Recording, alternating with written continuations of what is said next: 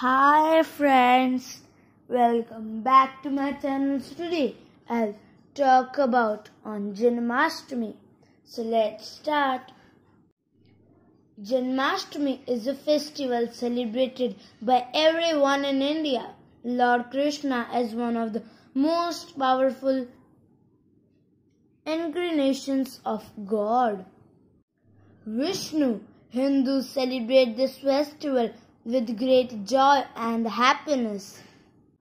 Janmashtami is celebrated all over India with great happiness, especially in states like Uttar Pradesh, Gujarat, Maharashtra, Bihar, etc.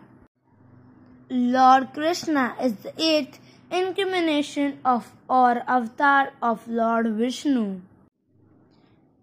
Lord Krishna was born to save the world from evils and remove all the sadness.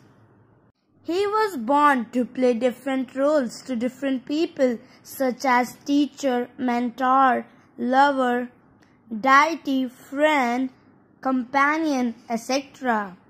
On Janmashtami, the temples of Lord Krishna are filled with worshippers for prayer. Many people keep complete fast while some only rely on fruits on Krishna Janmashtami. Krishna is considered to bring peace as he killed Kans, the evil king of Mathura, and made people free from his evilness.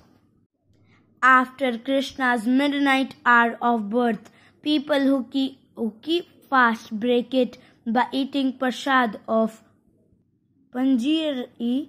On this occasion, children also participate in various programs in memory of Lord Krishna and his naughty behavior.